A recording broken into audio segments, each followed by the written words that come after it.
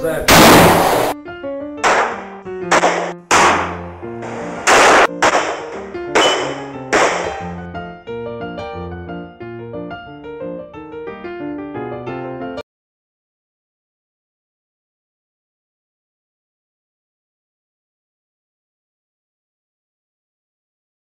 friends, FirearmPop here, and today we're at the range.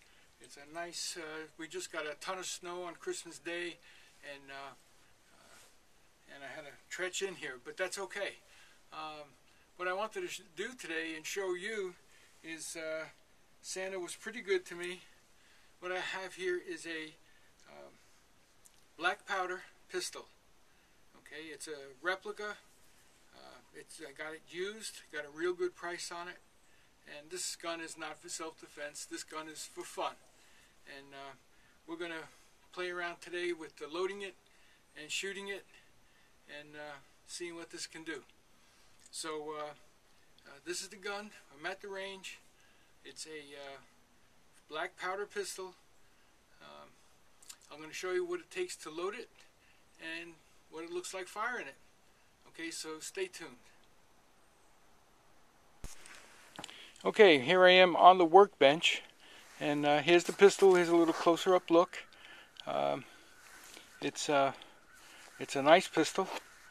This is uh, where, you put the caps. You load it this way, and there is a loading arm right here.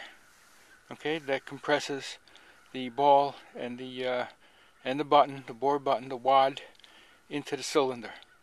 Okay, and we're going to go through that whole operation. What I've got today is some black powder, and these are actual black powder pellets. Uh, it takes all the, uh, I'm sorry, that's not the black powder, this is the black powder in their pellet, pellets. Let's see if I can get a close look at that.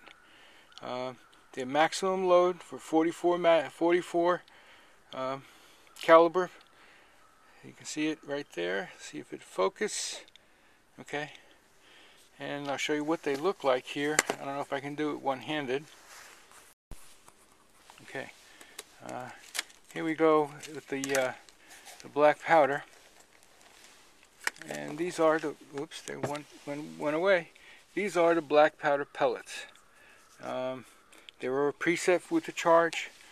Um, I, you know, was, was, a little worried about having to measure out the black powder and uh, not blowing up the gun but this kind of eliminates all that and I think it's a good way to start. And like I said this is a starter for me. I've never shot black powder before never loaded a black powder gun. So we're learning as we go. What we also have here is the uh, percussion caps. I'll see if I can get a close-up look at that. Okay. The Remington number 11 percussion caps. Uh, I have them loaded into a uh, holder and you'll see why. I tried putting a cap on with my fingers and my fat fingers just couldn't get there and hold the cap and put it in place. So you need some kind of holder. And this holds almost a hundred caps okay?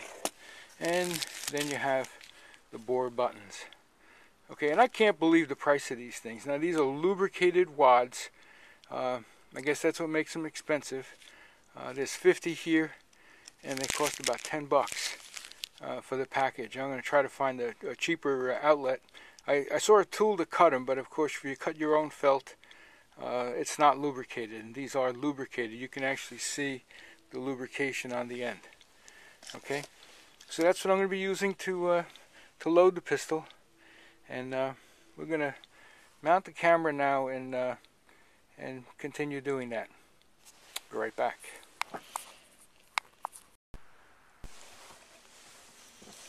Okay, we only loaded four rounds. One I had to really work on getting it in. Now, those bolts took a lot of pressure to get down. Uh, I just hope that's right. Anyway, what we're going to do now is uh, is put the caps on. So I'm going to go to the, where the first round is, which is this one. And it should work just like this.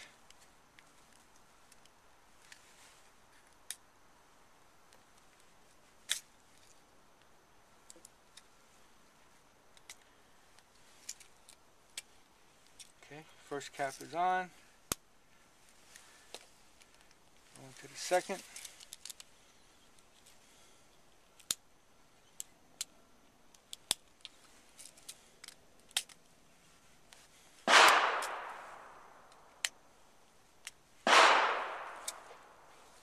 Second cap is on. Going to the third.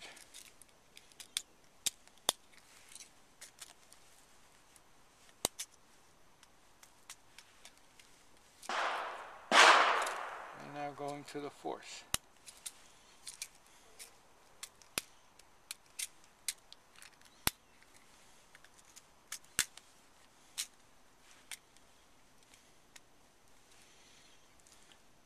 Now I'm going to load one cylinder with just the cap. Only because my curiosity says, what does just the cap sound like? So we're going to find out here in a second. Okay? So, I've got four cylinders loaded with, with balls. One with just a cap. Alright, I'm going to put this hammer down on the empty. And when I come up and I cock it, it should come right up to the first one. Okay, I'm going to keep that sucker down range. Okay. Ear protection on, eye protection on.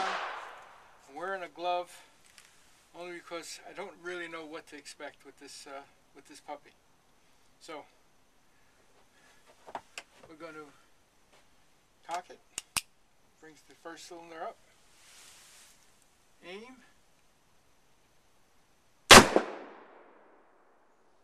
Fire. That was cool. Try another one. Okay, here we go. Some live fire.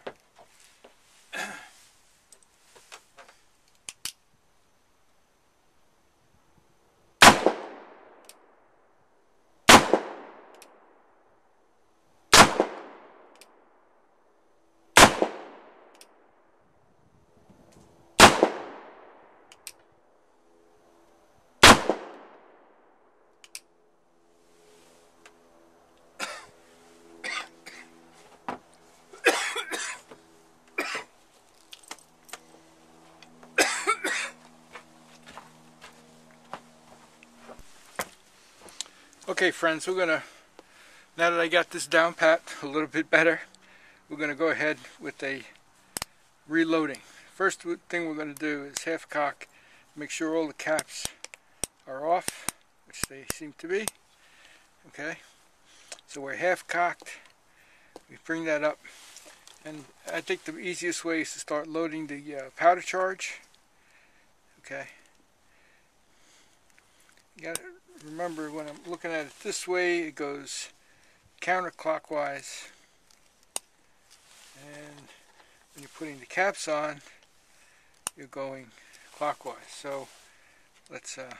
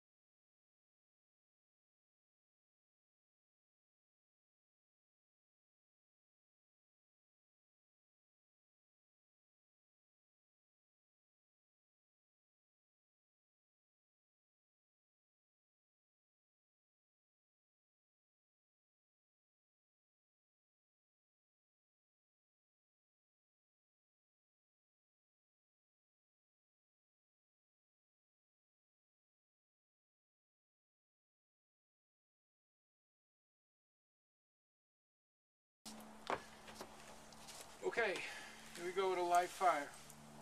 Gun's ready, pointed down range, cock, finger in the trigger.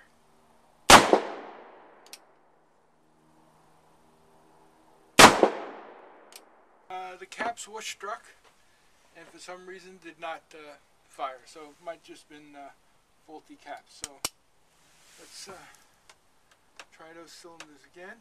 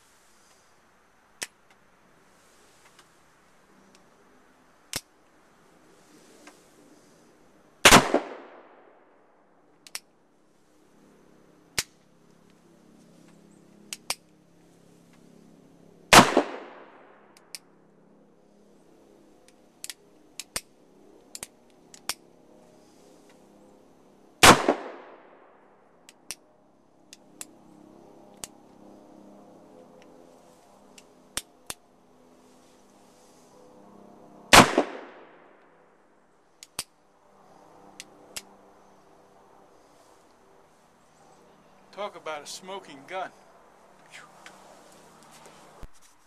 Okay, taking a look at the target. Uh, shooting kind of high into the left.